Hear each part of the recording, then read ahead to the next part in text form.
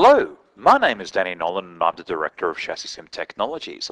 Welcome to this latest episode of Dan's Vehicle Dynamics Corner.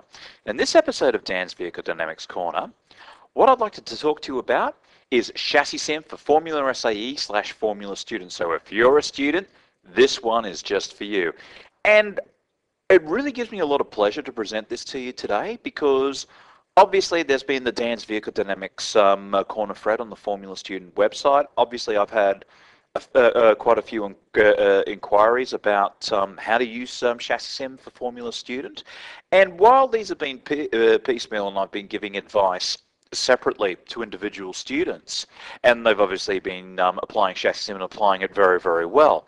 I actually think now is the time to make this knowledge, uh, uh, to, to make this knowledge now public, but more importantly, to give all of you students who are going to be watching this the tools to be able to use high-end simulations that professional motorsport teams use so you can use as a really good basis for doing what you do with Formula Student with regards to designing the car and running the car and getting the most out of it.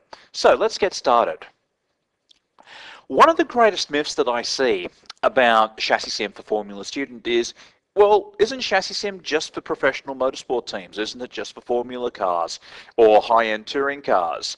Well, no. I mean, if you look at what chassis sim is capable of, whether it be a road car or a Formula Student car, all the techniques that you use um, in driving chassis sim for in a professional motorsport um, application uh, environment is just as applicable for Formula um, SAE. And I'm not sort of, and I am not talking theory on this. This has been used in anger in Formula Student. So I'm going to talk to you about the why and more importantly, I'm going to show you the how. Okay, why chassis sim for Formula SAE? First things first, this is full transient multi-body vehicle dynamic simulation. If anything, one of the real powers of chassis sim is the fact that it encapsulates a very high-end multi-body vehicle dynamic tool with a very, very focused automotive front end.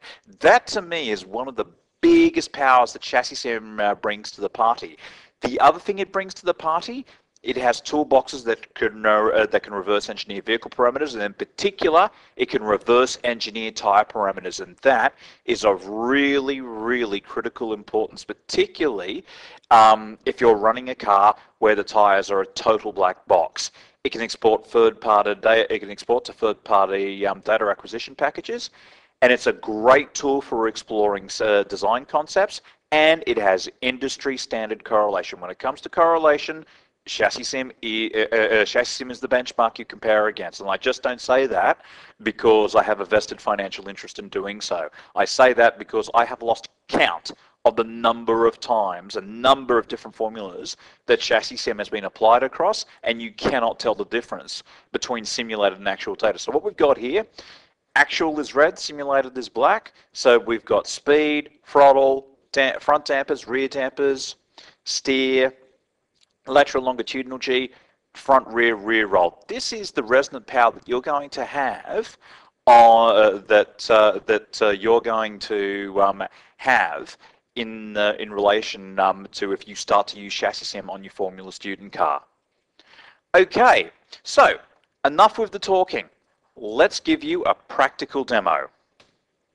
Okay, so what I've got here is that I've opened up Chassis Sim and I've selected the Formula Student template. Now, when you roll out Chassis Sim, one of the things that um, comes in the uh, install shield with Chassis Sim is Formula SAE tips and tricks. So you uh, uh, you open that up and there's some tips and tricks in here about how to set up the chassis sim environment, like setting up your units.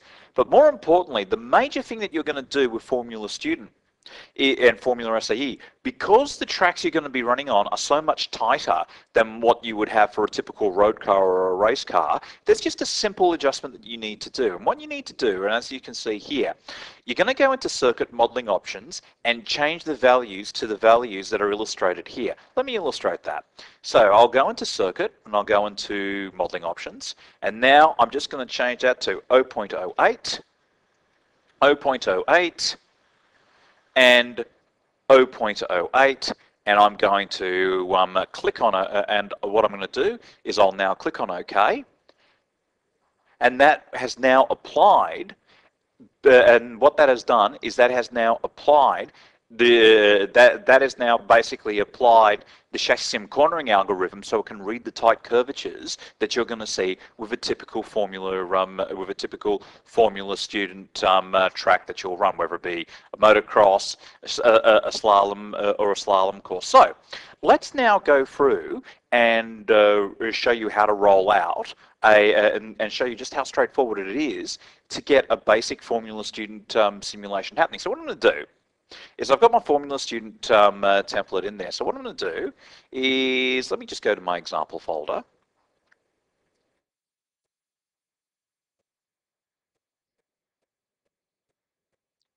Okay, so I'm going to load in my car file.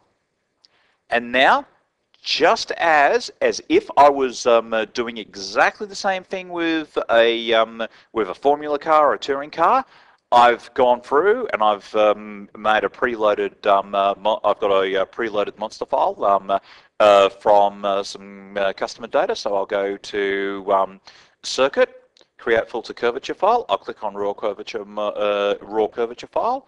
I'll import that. I'll click here if using the monster file. I'm going to use a, I'm going to use a moving average filter. I'm going to click on output curvature file and I'll go track formula SAE example, and I'm going to click on OK, and that's created my curvature file. And also, I can now do exactly the same, and as, uh, if I'm going to, and just to show you what that looks like, if we go into circuit, edit variable group factors, and import curvature for exa examples, again, that's your slalom course of what you've just been through, generated by actual data. Let's now go through and generate a monster file. So, I'm sorry, I should say a bump profile. So, We'll go to bump profile modeling. I'll click here to add the monster import file. I'll create my bump profile. I'll click here to specify my bump profile location. I'll choose start.dat and I will go bump profile formula SAE example. I'm going to um, go through, just do a typical, um, uh, uh, uh, do my typical bump scale settings. I might set that to about 0.3. I might use my bump scale iterations. I'll probably just set that to two for the time being because obviously this particular example, just to protect, uh, uh protect customer confidentiality, this is not the same car file that matches to their data. Um, but is in terms of what you'll be doing, you'll be doing exactly the same thing. So I'll click on OK and that's going to go through and uh, do, uh, that's going to go through and do its thing. So that'll just take uh, a moment while um, it's uh, while it's um, doing the bump profiling.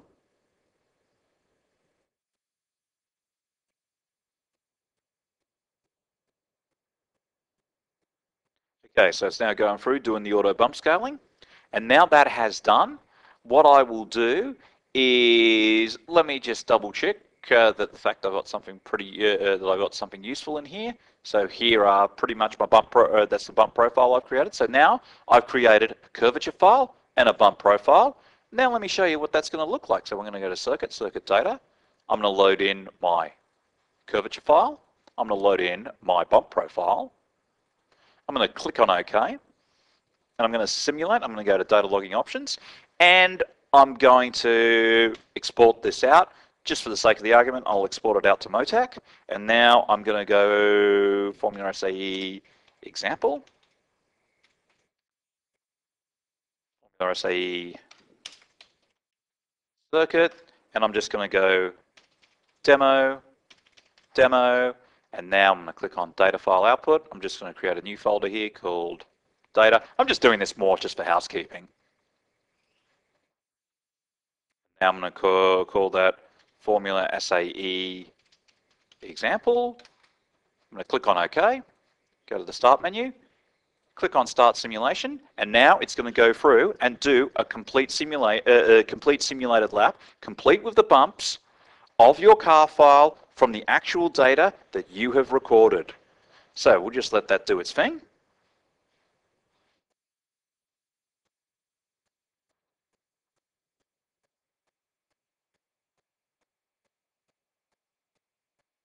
Okay, so it's now going to go through, do its thing, and there is your predicted lap time, which is a 65.62. But the real payoff here is going in to our actual data, to the data we've just, uh, uh, to um, the data that we've just recorded.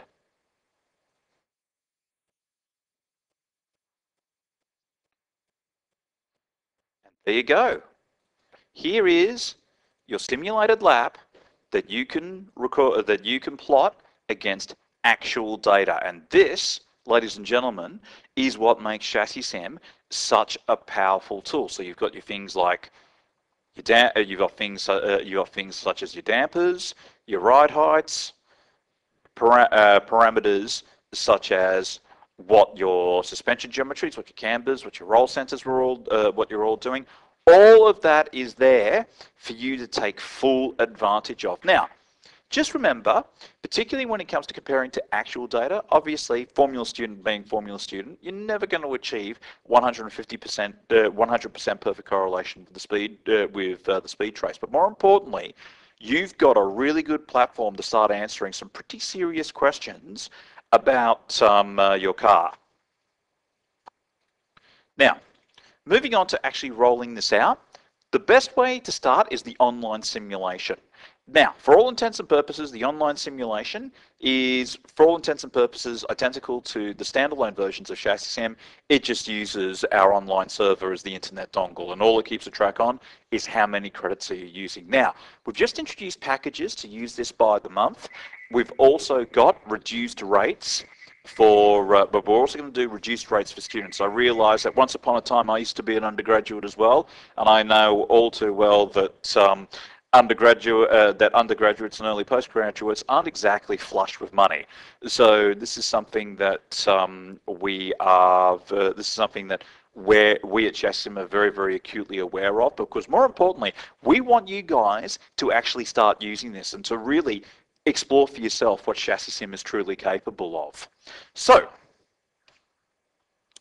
The best way to start now is, uh, the best way to start now is go to the chassis uh, uh, go to the chassis sim website and as you can see here we've got um, the online simulation tab there you obviously fill in um, if you're a new user you fill in these uh, specifics it'll take you into the chassis sim portal where you can download chassis sim professional online and um, as we did, uh, as um, uh, we um, as we discussed before look, we're quite happy to give you your first month for free because bottom line, our priority is to make sure that you will um, uh, uh, that you can get uh, that um, you get Chassim into your hands and you find and you start producing results like this for uh, results like this for yourself. So um, get rolling with get rolling with Chassis Sim.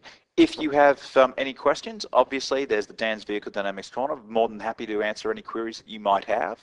Also too, um, and if I'm not uh, monitoring that, I'm probably busy with other stuff. So obviously email me at um, so email me at info at chassissim.com. But more importantly, our priority is to get Chassis Sim into your hands and so that you uh, so that you can discover for yourself just what a powerful tool this is. So give this a run.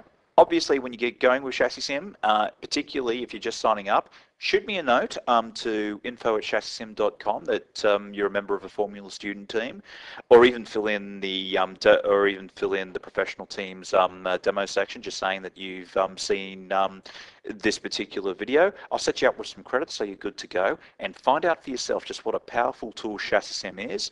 And I look forward to catching you on the next episode of Dan's Vehicle Dynamics Corner.